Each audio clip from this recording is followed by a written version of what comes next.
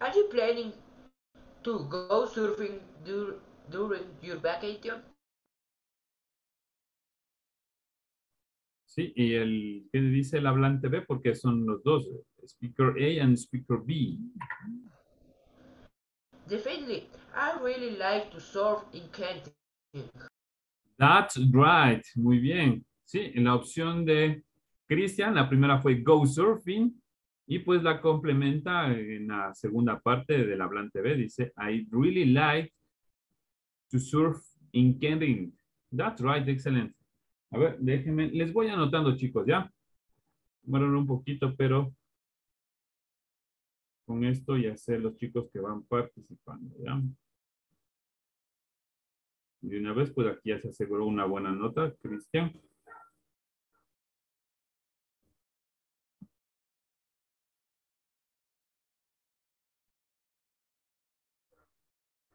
Ok, a ver, vamos a ver también con otros estudiantes que, aunque no estén voluntarios, pues este ejercicio debe estar hecho. Gabriela, please read me your exercise number one about the acted out. Gabriela Barragán. Léame su ejercicio, por favor, así como. ¿Me, ¿Me escucha? Sí, a ver. El segundo. Do you want to go sail- sailing when you visit Australia? Ah, pero el número uno nomás. Estamos ahorita. en- Ah, eh, tengo igual que Christian Go Surfing. Ah, go surfing, that's right. Ok. Bueno, luego entonces eh, te hago participar para que me leas nuevamente el ejercicio número dos. Ya. Darlene Minaya, read me your conversation number one. Yeah. A ver, ya. Are you the planning to go the surfing during your vacation? Definitive. Is it really like surfing kating? Ah, la misma entonces pues que Cristian, chicos, bueno, vamos a hacer la número dos, entonces. That's right. Ah, Gabriela, ahora sí puedes leerme por favor tus opciones. Do you want to go sailing when you visit the Australia? Ya, eh, speaker B. Y yes, I yes, I also plan to plan to the Australia. Um, I, yes, I also plan to. Sí, sí, no se me escucha la, la. B. Bueno, puede ser Sydney, ahí, ¿no es cierto? Sí, tengo ahí Kioto. Kioto, pero si estás hablando de Ah, Australia. sí, perdón. Ay, me equivoqué. Sí, bueno, entonces, bueno, lo importante es que estás. Puedes luego recuperar, ¿ya?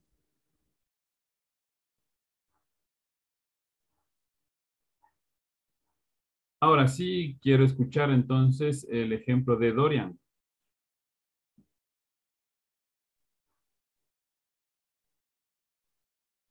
Do you want go, want to go sailing when you visit Sydney? Yes, I also plan to ride a travel car. Ok, that's right. Entonces, en esta primera parte podríamos llenar con estas opciones.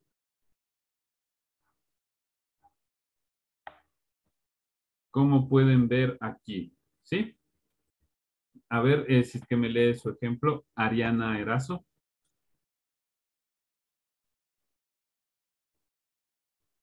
Do you want to pick up some sake when you visit Kyoto? Yes, I also plan to check out the temples. That's right.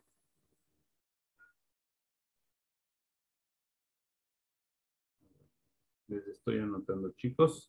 And finally, for the number three exercise, Heidi, please read me your dialogue. I'm going to San Francisco. What should I do there? You must go sailing. You must go sailing. That's right. A ver,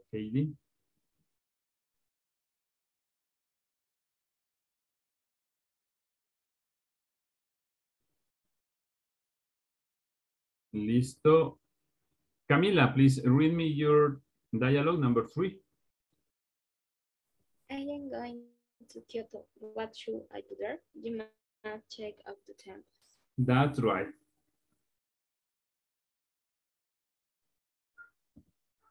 Bueno, entonces este último diálogo estaba bastante fácil. Podíamos elegir de estas dos opciones. Okay, finally, we have the did you know. In this part, you are going to find the modal verbs in order to advise something. Aquí en esta última parte, chicos, ustedes van a encontrar, ¿no? Aquí dice, ¿sabías que? Podemos utilizar los siguientes verbos modales, modals, verbos modales, para dar algún consejo o aconsejar a alguien, ¿no? ¿Cuáles son estos verbos modales? Es el can, el might, el should, have and must. Cuando usted quiere sugerir algo, por ejemplo, yo quiero decir, tú deberías visitar el panecillo. O tú podrías visitar el panecillo. ¿Sí? Yo puedo decir, you should visit el panecillo. O you might to visit el panecillo. Esto es una sugerencia eh, un poco sutil. O sea, solo le está sugiriendo. Pero para usted eh, poner más énfasis o hacer más fuerte a esta sugerencia, es casi como una orden, usted utiliza en cambio los verbos modales have o must. You have to visit el panecillo. Tú tienes que visitar el panecillo. You must to visit el panecillo. Tú debes visitar el panecillo.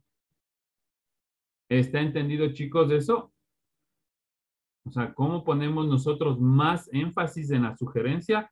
Es simplemente utilizando los verbos modales must and have. Podrían ustedes ahí este, subrayar o encerrar en un círculo ahí en el librito, poner el significado para que pues tenga en cuenta, aquí en el libro nos da este brevemente. Luego nosotros tendremos este, una clase en Grammar dedicada exclusivamente para hablar acerca de los verbos modales. ¿Sí? Pero como pueden ver, aquí es a manera de repaso nomás que se ve esto. Muy rápidamente el recuadro y se acabó. Now, fill in the blanks with the appropriate words. Some blanks may have more than one correct answer. ¿Sí? Llene los espacios en blanco con las palabras apropiadas. Algunos espacios en blanco pueden tener más de una respuesta correcta.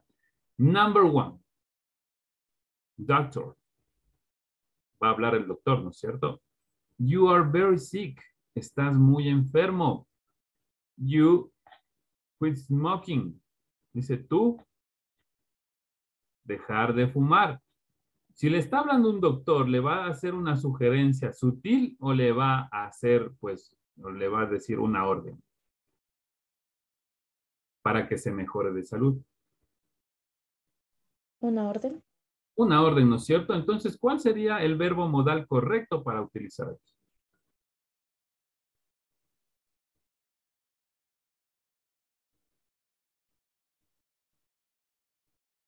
A ver. You have to, have to. Muy bien. You have to quit smoking o you must. Cualquiera de estos dos, ¿no? Have o must. Porque es una orden. O sea, él tiene que dejar de fumar. Él debe dejar de fumar.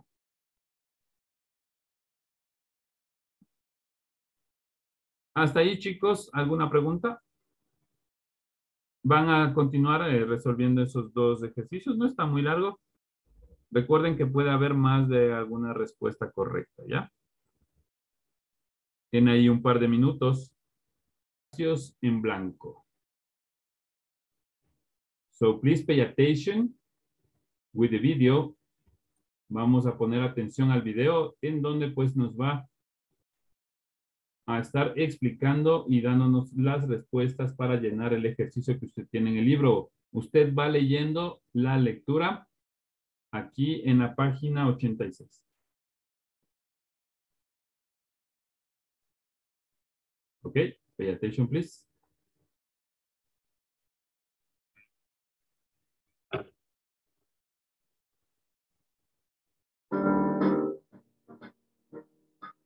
Stella and Anna are eating breakfast at the college cafeteria.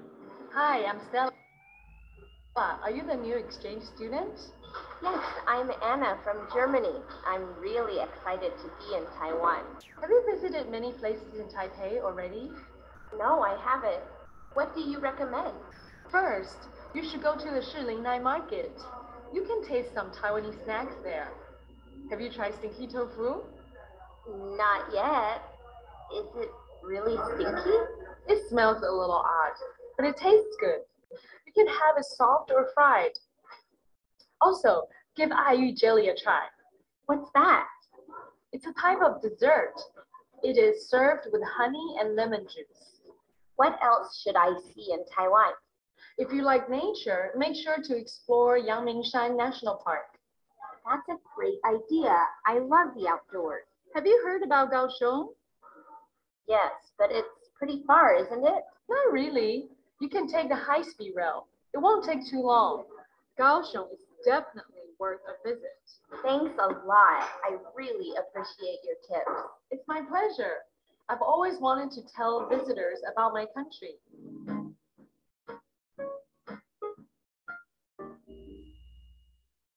It was easy. It was not difficult. No estaba nada difícil esto, pero bueno, en todo caso, si es que algún chico o chica no escuchó bien o no tiene alguna para repetir. No.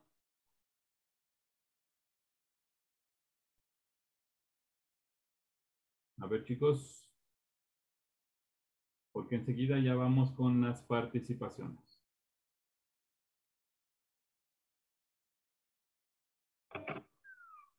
Está terminado el ejercicio entonces. Eh, profe, ¿puede repetir el video? Okay, students. When I call you, you must read all the line.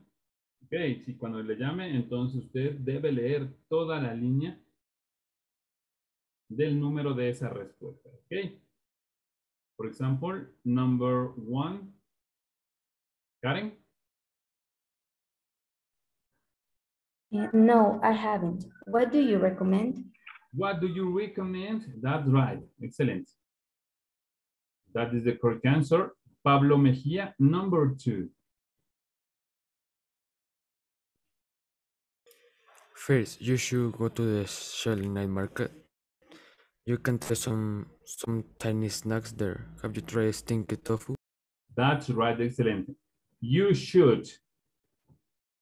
That is the correct answer. Number three, please, Santiago.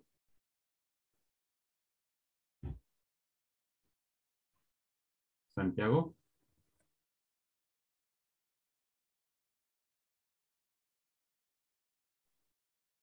Santiago, ¿sí me escucha? Mm, No parece que está aquí. A ver, Andrea. Number three. It is near Alina about his book.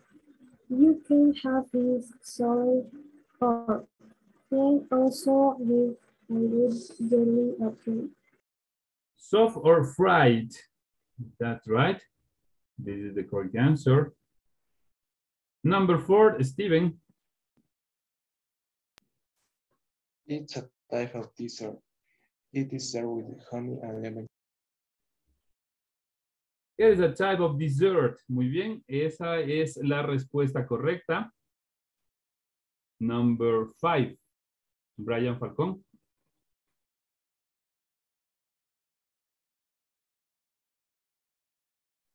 Are you there, Brian? Present. Number five. Número cinco.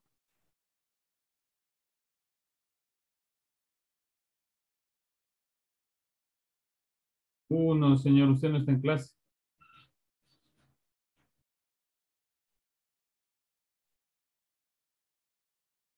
Chao. A ver, entonces, ¿quién más estaba aquí? Ángel, number five. That's a that's a great idea. I love the outdoors. I love the outdoors.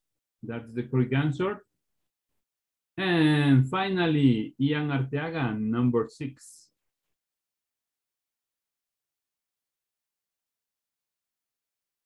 Ian Arteaga. Ya, ¿se me escucha? Yes. Ya. Thanks a, a lot, really. Appreciate uh, your tips. Appreciate. Appreciate your tips. That's right. Okay, please open your books in the page in the page 87. The review exercise, all of them are related to the conversation in the page 86. So the number one, A, word definitions. Use the clues to fill in the blanks with the word given. Change the word form if necessary. So you must choose the better answer. And Vivanco Heidi, please read the words. Exchange student recommend Snap, stinky of explore far definitely. Thank you, Heidi. So we're going to resolve the number one. I asked the waiter for advice and he, the clue is suggest the fish soup. Chicos, aquí ya hemos hecho antes este tipo de ejercicios. Al finalizar, entre paréntesis, usted tiene ahí la clave para poder llenar el ejercicio. Como siempre, hemos hecho la número uno. Y bueno, Heidi nos, nos ayudó ya leyendo las palabras. Tenemos la siguiente oración. I asked the waiter for advice. Pregunté, dice, o pedí al mesero un consejo. Y él, aquí tiene la clave, ¿no? Suggest. La sopa de pescado, the fish soup. What is the correct word? No está complicado eso, chicos. Hugo, what is the correct word? Recommend. Recommend. Muy bien. Pero como nos dice en la instrucción, dice que cambie la forma de la palabra donde sea necesario. Fíjate, Hugo, que aquí al principio está en pasado. I asked, yo pregunté. Sí, o yo pedí al mesero un consejo. Y él no es solo recommend. Eso tenemos que conjugar este verbo. ¿Cómo nos quedaría? Si está en pasado. Hugo. Recommended. Recommended, that's right. Excellent. The correct answer is recommended. Y pues así van a seguir llenando los espacios en blanco que nos quedan hasta la número 8. Do you have any question? No? Okay, finish the exercise, please. Letter B, words with different meanings match the word involved with its definition. Aquí debe, pues, usted poner en el orden correcto de la definición de estas oraciones, ¿no? Como pueden ver, aquí tienen las dos oraciones con una palabra en común. Serve. Esta palabra serve tiene dos connotaciones, dos definiciones. Según el contexto de la oración, debemos elegir la definición correcta para cada una de ellas. Okay, number one. The fish is served with cream sauce and two vegetables. El pescado es servido con salsa de crema y dos vegetales. The cafeteria also serves as a meeting room for large groups. La cafetería también sirve en una sala de recepciones para grupos grandes. Veamos las definiciones. A. Verb to give food or drink. Dar comida o bebida. B. Verb to be helped for a particular use. estar o ser, dice, de ayuda para un uso en particular. What is the correct order? Usted debe poner aquí el literal A o B o el literal B y A, según corresponda. Eso no es complicado, chicos. Y finalmente, si ya termina también este literal B, puede ir a la última parte de letter C. Choose the correct answer. Usted tiene ahí cuatro preguntas. Debe elegir la respuesta correcta. Si es que tiene alguna duda de estas preguntas, debe acudir a la lectura de la página anterior porque en ella están las respuestas. Do you have any question? ¿Alguna pregunta, chicos? No.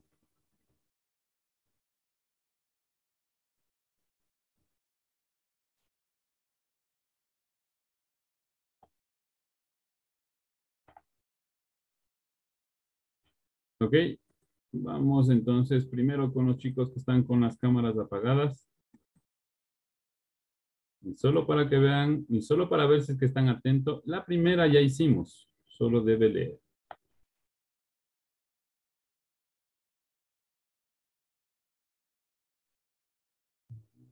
¿No? Todos han estado con las cámaras prendidas.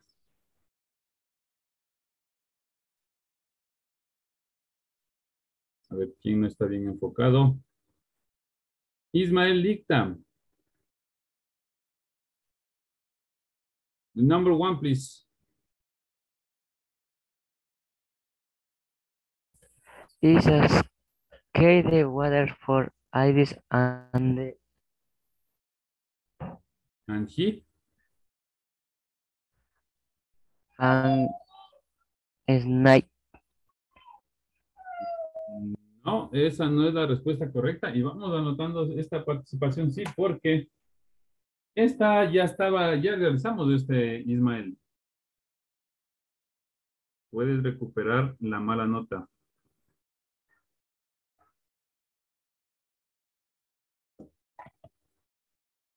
A ver, ¿quién más? Miguel Merino, number one, please. the waiter for and recommended. Uh, what is the correct word? Repeat, please. Recommend. That's right. Bueno, esto era solo de leer. Tú mismo, entonces, Miguel. Number two, please. We stopped for a snack at Mall Smart. That's right. Snack is the correct answer.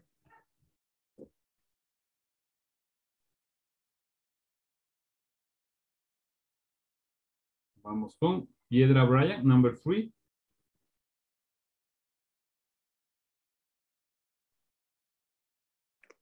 Canada is experiencing for tourists because the city has too far from each other. Uh, can you repeat the words? Uh, speak aloud. No te escuché muy bien. Habla un poco más alto. Canada is experiencing for tourists because the cities are so far from each other. So far, that's right. That's the correct answer. Listo. Christian, number four. Some shoes get stinky during hot summer days. Excellent. Muy bien, Christian. Stinky, ¿no? Some shoes get stinky during hot summer days. Los zapatos de Sam apestan durante los días de verano.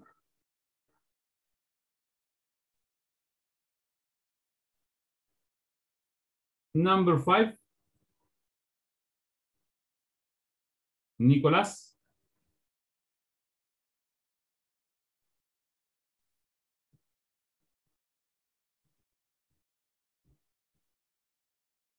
Nicolás, number five, please.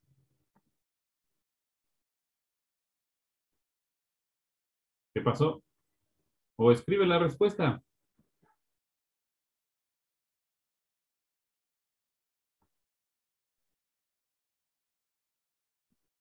Escriba allí la palabra correcta.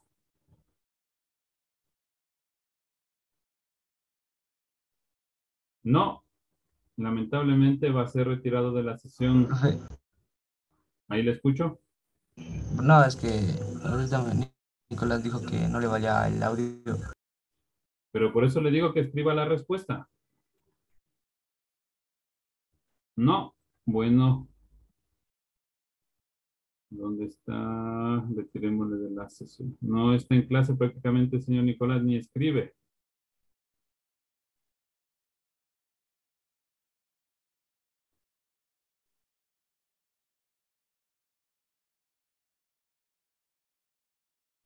A ver quién más estaba por aquí. Dorian, number five. This weekend, I'm going to explore the night market. Explore, I'm going to explore the nine markets. That's right. Camila, number six. At our school, there are exchange students from Spain and Italy. That's right. There are exchange students. Number seven, Ariana.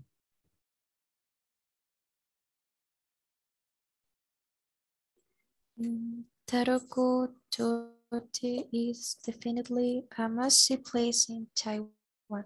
That's right. Muy bien. Ahí ya te puedo poner eh, nota, ¿no? Definitely. And finally, Darlene, number eight. I like the dessert, but it had a really odd the smell. A really odd ¿no? Es un olor feo, ¿no? Un olor horrible. Darlene Minaya. Ah, bueno, esta era ya la última opción. Entonces vamos con el siguiente ejercicio. Tú mismo, Darlene. Letter B, word with different meanings. So we have the same word in the two sentences. You must choose the better order. Va a elegir el correcto orden. Entonces, Darlene, what is the correct order? Letter A and B or letter B and A? Letter B, uh, A.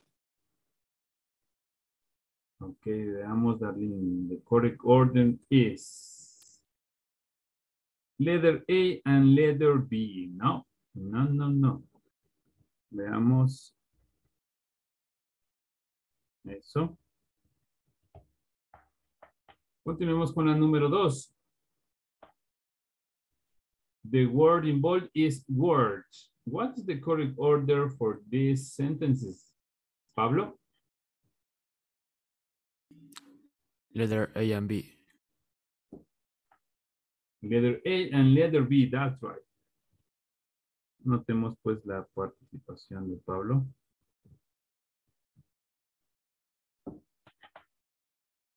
And finally, number three, what is the correct order, lady? And letter B, and letter A. Letter B and letter A, that's right. Sí, y se asegura pues una buena nota también aquí, lady.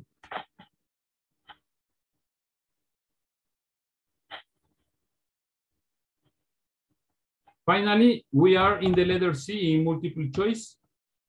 So we have four questions. Santiago, can you hear me? ¿Sí me escucha?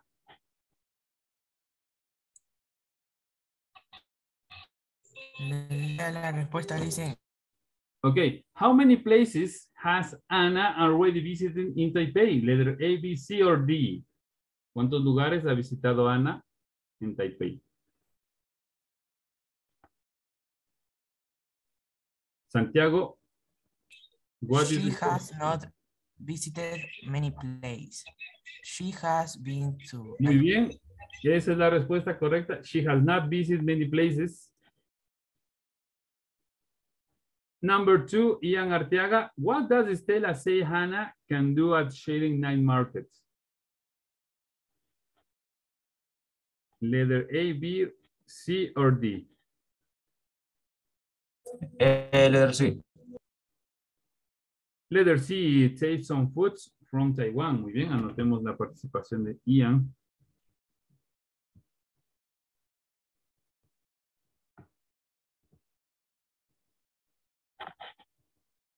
Number three, Heidi, how is a jelly usually served?